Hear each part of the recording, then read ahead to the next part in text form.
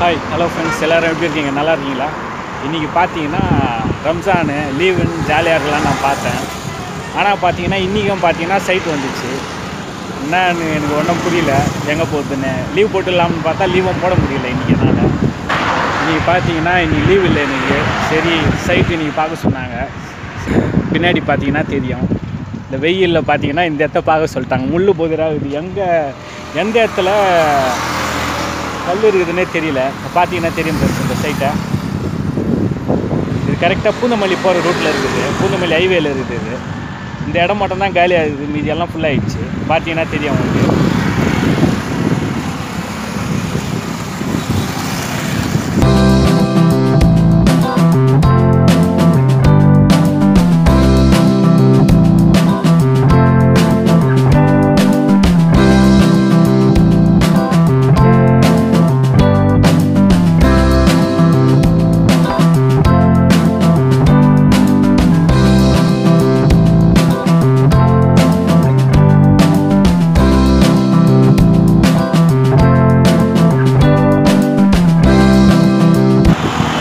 பார்த்தீங்கன்னா எனக்கு என்ன பண்ணுறதுனே ஒன்றும் புரியல. ஒரு ஐடியாவும் கிடைக்கல அந்த சைட்டை பார்த்துட்டு. ஒரே முள் புதிராகுது எங்கள் எங்கே பாம்பு பத்துன்னு இருக்குன்னு கூட தெரியல எனக்கு.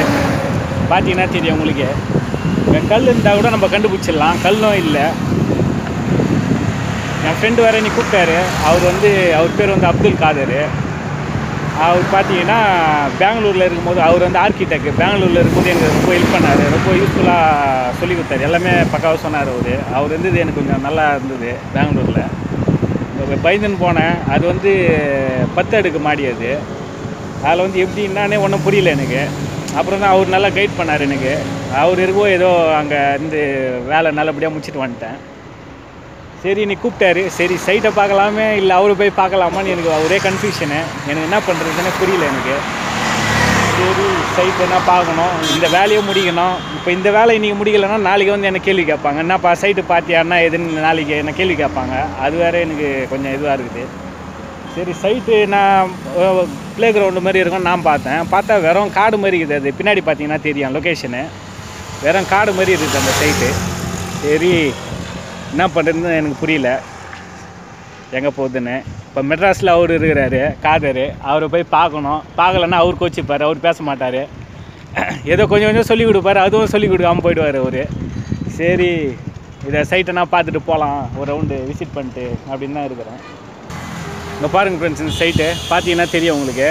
ஒரு ஐடியா கிடைக்கும். இங்கே பாருங்கள் சுற்றி எப்படி காடு மாதிரி இருக்குது பாருங்கள் பேக் சைடில் இங்கே பாருங்கள் ஃப்ரெண்ட்ஸ் இந்த சைட்டை. எந்த இடத்துல எந்த பாம்பு பத்துன்னு இருக்குன்னு கூட தெரில எனக்கு. பயமாக இருக்குது நடந்து போகிறதுக்கு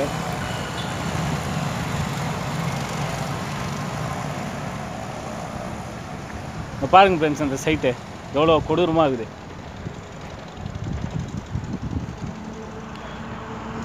கீழே ஃபுல்லாக வெறும் முள்ளுங்க தான் இருக்குது. வெறும் முள்ளு காடு போடுது எனக்கு பாருங்கள் ஃபுல்லாக முள்ளு தான். அந்த சைட்டில் எப்படி நுழையுது எங்கே வாழுகுது தலைகுதுன்னே புரியல எனக்கு. கல் கூட காணோம். இங்கே கல் இருக்குதுன்னு சொன்னாங்க. கல் கூட பிடிங்கி போட்டுருக்காங்க. ஃபென்சிங் அங்கங்கே இருக்குன்னு சொன்னாங்க. எதுவுமே காணும் இங்கே. இந்த ஒரு கல் கண்டுபிடிச்சிட்டேன். ஒரு மணியை இருங்க காட்டுறேன் உங்களுக்கு அந்த கல்லை. கிட்ட.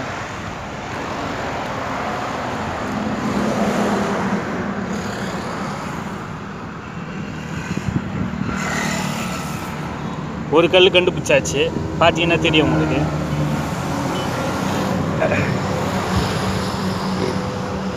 மீதி அந்த பக்கம்லாம் கல் இருக்குதா என்னன்னு தெரியல எனக்கு. பார்த்தா தான் தெரியும். இங்கே பாருங்கள் ஃப்ரெண்ட்ஸ் இது.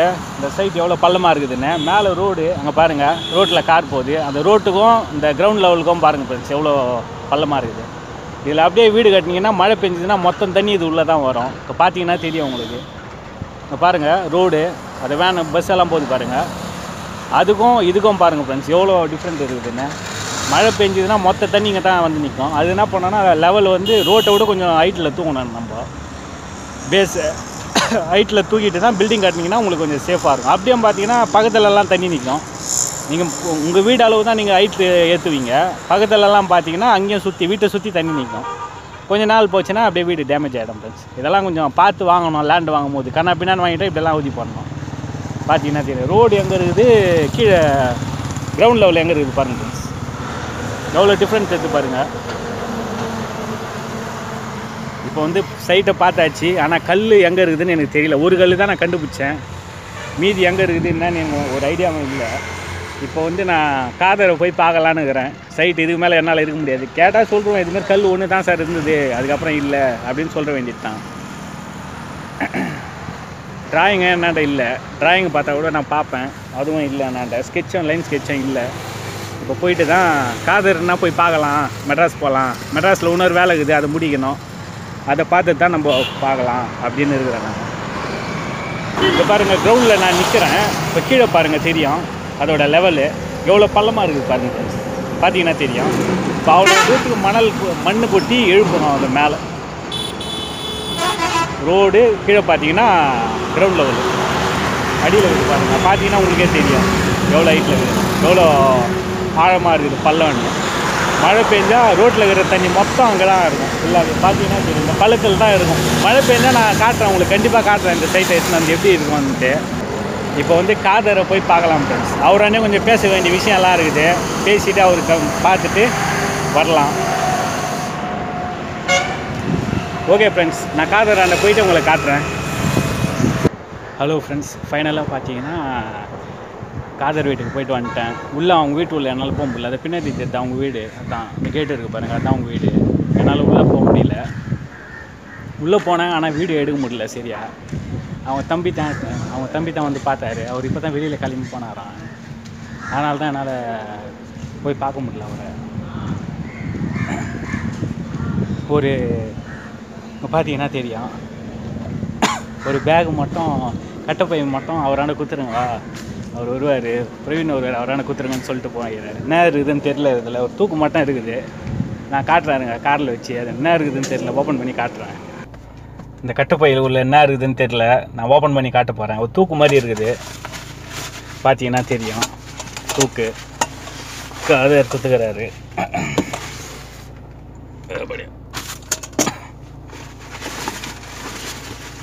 இதில் பார்த்தீங்கன்னா ஏதோ பேக்கெட்டுங்கெல்லாம் இருக்குது. தயிர் பச்சடி அந்த பேக்கெட் நினைக்கிறேன். ஒரு ஹோட்டல் ஆர்டர் பண்ண மாதிரி இருக்குது. ஹோட்டல் ஆர்டர் பண்ணாரா என்னன்னு தெரில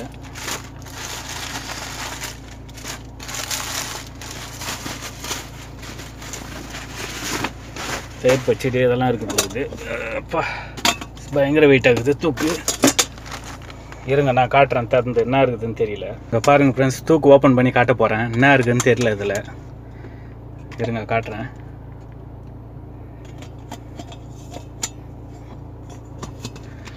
பா திறந்தோன்னா வாசனை தூக்குது ஃப்ரெண்ட்ஸ் மேலே பார்த்தீங்கன்னா சிக்கன் சிக்ஸ்டி ஃபைவ் வச்சுருக்காரு. ஒரு முட்டை இருக்குது.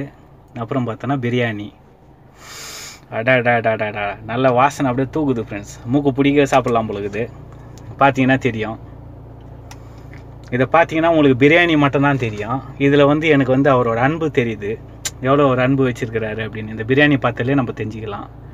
ஆனால் நீங்கள் இதை பார்க்கும்போது பார்த்தீங்கன்னா இது சாதா பிரியாணின்னு தெரியும். ஆனால் எனக்கு வந்து அவர் என் மேலே வச்சுக்கிற அன்பு தெரியுது இதில். பார்த்தீங்கன்னா தெரியும் இந்த பிரியாணியில். மேலே சிக்ஸ்டி ஃபைவ் பிரியாணி. வாசனை வேறு லெவல் ஃப்ரெண்ட்ஸ் வாசனை வேறு அப்படியே வாசனை மூக்கு தொலைக்குது மூடிடலாம் இருந்துச்சு. அடடா வேறு லெவல் பயங்கர வெயிட் வச்சாச்சு. இந்த வீடியோவில் பார்த்தீங்கன்னா அவருக்கு நான் ரொம்ப தேங்க்ஸ் சொல்லிக்கிறேன். காதர் பாய்க்கு. நான் ரொம்ப தேங்க்ஸ் சொல்லிக்கிறேன் நான். நான் சும்மா ஒரு சின்ன டிஃபனில் போட்டு கொடுப்பாரு அப்படின்னு சொன்ன நினச்சிருந்தேன் நான். இதுமாரி சின்ன டிஃபனில் போட்டு கொடுப்பாரு அப்படின்னு நினச்சேன் நான். ஆனால் இவ்வளோ பேர் தூக்கு குத்துட்டாரு. ரொம்ப ஹாப்பியாக இருக்குது எனக்கு அது பார்க்கும்போது. வாசனை அப்படியே தூக்குது. நான் நிறைய கடையில் போய் சாப்பிட்டு இருக்கேன் பிரியாணி. அங்கெல்லாம் பார்த்தீங்கன்னா ஒரு எப்படி சொல்கிறது ஒரு தக்காளி சாதம் சாப்பிட்ற மாதிரி ஒரு ஃபீல் கிடைக்கும். அந்த பிரியாணி அந்த டேஸ்ட்டே இருக்காது சுத்தமாக அந்த மசாலா கிசாலா எதுவுமே இருக்காது அதில். சாதாரணமாக ஏதோ ஒரு பிரியாணி சாப்பிட்ற மாதிரி ஒரு ஃபீல் ஒரு சாதாரணமாக ஏதோ சாப்பிட்டு சாப்பாடு சாப்பிட்ற மாதிரி ஒரு ஃபீல் கிடைக்கும். பிரியாணி சாப்பிட்ற மாதிரியே ஒரு ஃபீல் கிடைக்காது. அது மசாலாலாம் சரியாக ஆட் பண்ணியிருக்க மாட்டாங்க. அது மாதிரி இருக்கும். இது பார்த்தீங்கன்னா அந்த ஓப்பன் பண்ணும்போது அந்த ஸ்மெல்லு அப்படியே தூக்குது ஃப்ரெண்ட்ஸ் அப்படியே வாசனை. மூக்கில் அப்படியே தூக்குது. விட்டா இப்போயே சாப்பிட்றோம் போல இது ஆனால் இப்போ சாப்பிட முடியாது என்னால். சரிங்க ஃப்ரெண்ட்ஸ் நான் ரொம்ப தேங்க்ஸ் சொல்லிக்கிறேன் காதர் பாய்க்கு. பெங்களூரில் கூட நீங்கள் ரொம்ப எனக்கு ஹெல்ப் பண்ணீங்க. அதை நான் எப்போவுமே லைஃப் ஃபுல்லாக நான் மறக்கவே மாட்டேன். ஓகே ஃப்ரெண்ட்ஸ் நெக்ஸ்ட் வீடியோவில் நம்பின்னு பண்ணலாம். Bye bye see you bye bye bye bye